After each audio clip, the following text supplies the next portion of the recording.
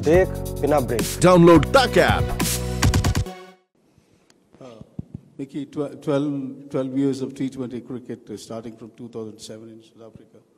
Uh, what are teams looking at? You know, uh, Sting, you scored 144, too small defend actually. Would you say so? Or, you know, what is an ideal score, irrespective of the wicket? 160, what, 7 runs in over, 8 runs in over, 9 runs in over? What is it like? yeah, look, I, I think that varies um, as a- as to the different surfaces you get on. You know, so I certainly knew the times with we, we, we played with Pakistan in Dubai. We knew that if we got 150, we we would generally defend that. Um, it's different here in India. The wickets the, the wickets are really good. Uh, so you've I think you've got to be up at the 170s certainly on on good wickets. But again, it's and I said to our players as well, you know, it's hard to put targets on T20 cricket because sometimes you go out there thinking I've got to go and get 180 and you take far too many risks early on, particularly setting, and then you, know, chasing the scoreboard tells you what to do. But, but setting is, uh, you know, you, and then you realize you get bowled out for 140 and you realize, well, maybe 155 would have won us the game. So, assessing conditions is, is still the key to that. I do think on the good wickets here, and, I, and I'm, I'm, the batting's just going, it's going to a different level all the time. I do think, you know, the, the 150s are becoming 170s, definitely. Um, and then if you, if you get early wickets and strike early, you can certainly defend that. I still think 2020 is about taking wickets. I think 2020 is about putting your best bowling unit out on the ground because that's the only way you can stop players scoring is by actually getting them out. Um, so yeah, that's that's sort of where it goes. But but the batting's take gone to another level. Yeah. Any particular reason to leave out Angelo Mathews at Indore? He's your most experienced batsman, isn't he? Yeah, no, th- no, there, there wasn't. It, it, it was my first 2020 team with the uh, 2020 game with the team. Um, I, I was reliant on on sort of starting where they sort of finished. You know, Angelo brings us a wealth of experience. He's a he's a very very good cricketer.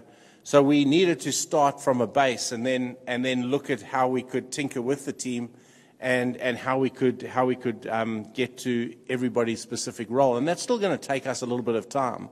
Um, but yeah, I mean, it's just, it's really good having a guy like Angelo around because of his experience. And uh, the only reason he didn't play was simply because it was, it was the starting point, and we almost started with what they finished their last, their last series with. Uh, he hasn't played for 16 months, I think, in the squad, so, so that was the only reason. Uh, Mickey, how, uh, you spoke about taking wickets being the key in T20, and your minus Isuru Udana for tomorrow's game. Yeah. So how do you how do you contain this uh, Indian team, which lost to Sri Lanka in the last match they played in Pune 2016, but then India have been dominating in the head-to-head, except for one loss. They have won almost all in subsequent to that. Yeah, look, I, I mean, I, I think I think we teams at, at totally different ends of the spectrum. And I know India are trying some some really good young players, and and and they've, there's there's an abundance of talent here. You know, uh, the the players that they bring in just stand up and just and just do the job. You know, um, and I think that speaks volume for the structures that they have now. Um, for us. It is about we've we, we've got we've got a set of players here that I think are very skilled.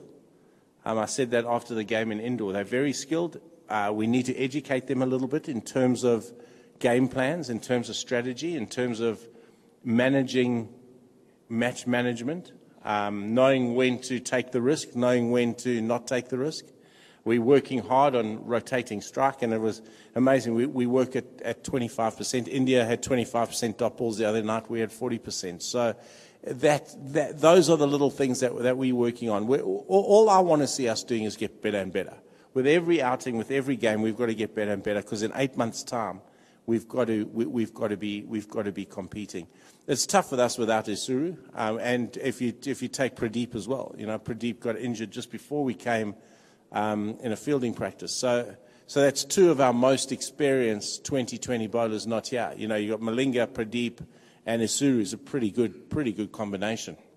Uh, we minus those two, but we've got some, some good young players. You know, uh, Lahiru Kumara is going to be a very, very good player. Uh, Kasun Rajitha is going to be a very, very good bowler. Um, I mean, Malinga's he's, he's, he's a legend. You know, he just he just he he just knows what he's doing. And we've got two very good wrist spinners here. So perhaps perhaps tomorrow we have a look at you know, maybe maybe trying to trying to see if our wrist spinners can't can't do anything. Again, we'll just have a look to see what the wickets. There was a bit of grass on the wicket this morning, um, which would obviously look to aid the quick bowlers. But um, we'll just have a look tomorrow. Maybe it's baked, and maybe we can play out two mystery spinners and see what happens there. Uh, yeah. Uh, Mickey, uh, Sri Lanka is passing through transition phase. It is said that, but they very pleasantly surprised everyone by winning in Pakistan. Uh, my question is whether this transition phase will get over by the time we reach T20 World, World Cup in October. You feel that uh, whether there will be a finished product or still uh, work in progress? I, I still think by the time we get to uh, October, and, and this is what I keep stressing to, to our players, I keep stressing it to, to, our, to the group of selectors, is that we, we need to show consistency. We need to pick a squad now that we think are the best, and, and, and this is a series where we, you know, we're finding out. It's my first time with the guys. Are we finding out about who can play and what roles they can play? Because, you know, as I say, as you said, we've got eight, eight months. Um, I think we've got, a, we've got quite a bit of cricket before, though. We've got the West Indies series. There's a series with South Africa. There's another series with India. We've got a series with Scotland um, and a series with Zimbabwe. So we, we do have a little bit of cricket coming up in order to get that balance right. But we don't want to be going into October not knowing what our best team is. So the sooner we can get that settled, the better. Um, I think we're probably down to about 18 or 19 players now for those 15 spots. Um, and, and, you know, I've, I've done a hell of a lot of work over the last 10 days with these guys to try and familiarize myself with a brand that we can play, a brand that is going to be particular to the skill sets that our players possess, um, and then molding in the roles that each guy can play to ultimately give us some success. So yeah, eight, eight months is, is short, um, but we've got no option. We, we need to be, we need to, we have to go there and qualify. Um, so we, have got to, we, we've got to be on the money come the first game. But I do think in 2021, coming back to India, with the skill sets that we have, if we can keep these young boys together, I do think by that time we'll be a force to, to, be, to be reckoned with. Coach, uh, you spoke about uh, T20 batting having evolved so much. Mm. So, what can be done to get parity between bat and ball? Perhaps getting rid of uh, the power play, can it be one way? Yeah, that, that's, a, that's a really interesting question. I, I, I, and, I, and I'm not sure. I, I, don't know. Um, like, I don't think people want to go to games. I think pitches. And I, I, I, always say pitches. I think the best test cricket you watch is when the 280 plays 320 plays 260 plays a chase of, of about 250. Those, are good games. And when the pitches offer a little bit for the bowlers, it's, it's, it's really good. Um, getting rid of the power play, I'm not sure. Like, I don't think spectators want to come to games and just see sixes and fours and sixes and fours. It, it gets a bit boring. I think, I think you want to see bounces and slower balls, but you want to see the bowlers getting a little bit um, out of it. And that could be spin bowlers as well, you know. So I think the best 2020 game is when, is when 155 plays 155 and it goes down to the wire with the bowlers always being interested. I think those are your best games. So I, I don't know. I, I don't know what the answer is. Um, I don't think the power play necessarily because I think that's quite an, an important um, and quite entertaining role, but maybe pitches. And ground size. Grounds are too small. Doesn't aid the spinners.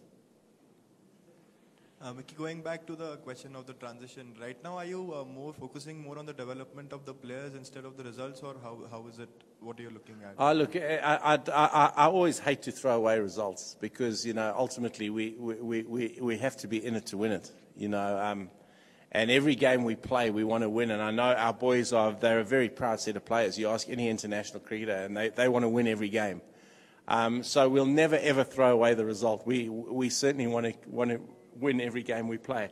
But again, for me, it's about learning about the players. It's about the players getting comfortable within a, within a role. So, yeah, we are in a developmental phase. We are in a transition phase. It is going to take us a little bit of time.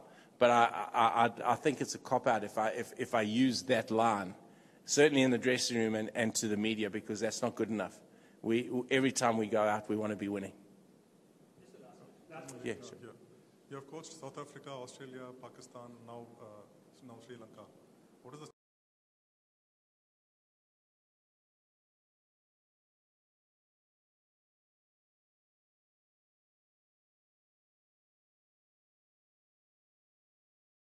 captain, and and we had we had some some great success. It's great to see those boys back in South African cricket now. The Bouchers, Kallises, Smiths. Um, that was that was good fun. Australia for me was was, was didn't didn't really work out.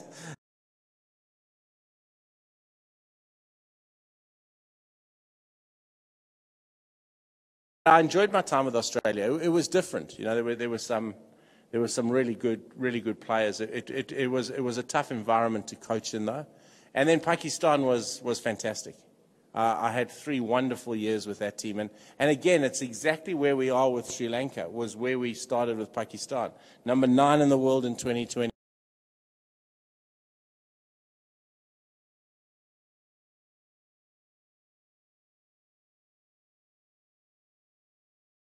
Some really good young players through. And I think if I look back on my coaching career, those are probably three, three of, the, of the best years I had because I felt I impacted a structure there and certainly impacted some players. And you always judge your tenors by, by what you leave behind. And I think, I think we've left behind a really good young set of players. What happens to them now is, is, you know, is certainly up to them. But I see exactly the same scenario here with, um, with Pakistan, with, uh, with Sri Lanka. It was amazing. Grant, Grant Flower and I were sitting because Grant was with me in, in, in Pakistan. We were actually just discussing it the other night that we feel we're in exactly the same phase now with Sri Lanka as we were when we started with Pakistan. And, and hopefully we can mold a team